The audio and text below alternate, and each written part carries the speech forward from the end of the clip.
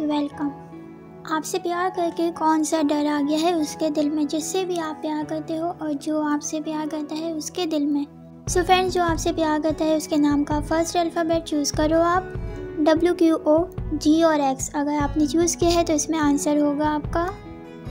डर है उसको कि आप कहीं छोड़ ना दो उसको किसी और के लिए। उसको ना छोड़ दो आप। ये डर है उसको।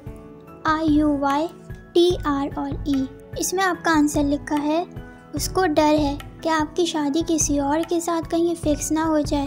क्योंकि वो आपसे शादी करना चाहते हैं तो ऐसा ना हो कि आपकी शादी किसी और से फिक्स हो जाए, ये डर है उसे। अब देखेंगे एफ़ डी एस ए और पी में आंसर क्या होगा। उनको किसी का डर नहीं है, आपसे प्यार करके कोई डर नहीं है उनको अभी तक तो।